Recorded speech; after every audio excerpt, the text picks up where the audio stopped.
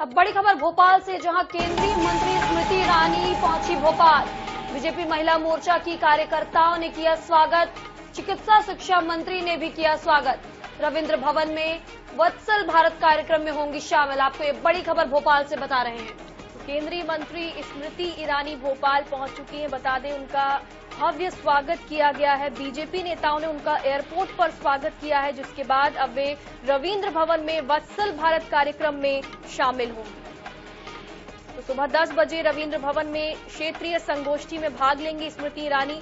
बाल संरक्षण, सुरक्षा और कल्याण पर वत्सल भारत आयोजित है और दोपहर डेढ़ बजे भोपाल एयरपोर्ट से दिल्ली के लिए स्मृति ईरानी रवाना हो जाएँगी। आपको बड़ी खबर बता रहे हैं, भोपाल से जहाँ केंद्रीय महिला व बाल विकास मंत्री स्मृति ईरानी भोपाल पहुँची हैं, आपको बता दें।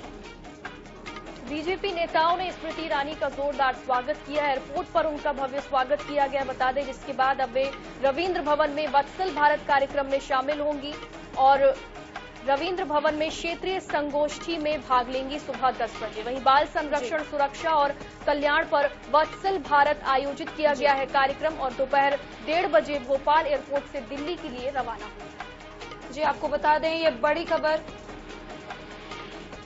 ज़्यादा जानकारी के लिए हमारे सहयोगी सनी मालवी हमारे साथ जुड़ गए हैं। सनी भोपाल पहुँची है केंद्रीय मंत्री स्मृति ईरानी। क्या कुछ उनका आज कार्यक्रम होने वाला है?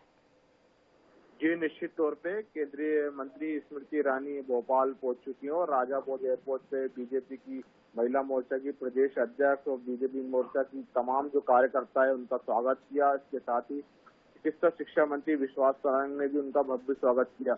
आपको बता दें कि रविंद्र भवन में वत्सल भारत कार्यक्रम का में केंद्रीय मंत्री हैं जो शिरकत करेंगी। सुबह दस बजे रविंद्र भवन के बाल संरक्षण, सुरक्षा और कल्याण पर आयोजित वत्सल भारत क्षेत्रीय संगोष्ठी में भाग लेंगी, इसके साथ बता दें कि वो डेढ़ बजे दिल्ली की ओर रवाना हो जाएँगी। जी।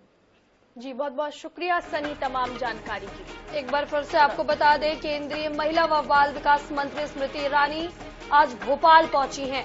आपको बता दें, केंद्रीय मंत्री आज भोपाल में बाल अधिकार, बाल सुरक्षा और बाल कल्याण पर केंद्रीय क्षेत्रीय संगोष्ठी कार्यक्रम बाल वत्सल में शिरकत करेंगी।